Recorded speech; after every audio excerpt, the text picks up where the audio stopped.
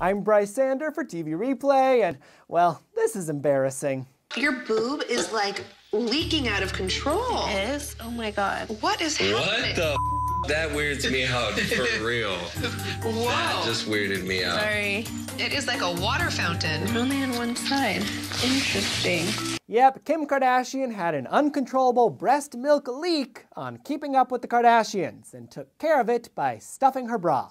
Hollywood Life thought Kim took her siblings' not so kind reaction to the accident in stride, though. Kim didn't seem the slightest bit offended by her siblings' obvious disgust, noting that the leak was only on one side. Interesting. And the Stir said Kim's leak was notable mainly because it proved she actually gave birth. There isn't much to say here, but it is worth noting that Kim does indeed have a baby hiding somewhere in the Jenner mansion. And if you don't believe her, just check out how much her boobs are leaking. That will have to suffice for now because we still didn't get a peek at the cute tyke.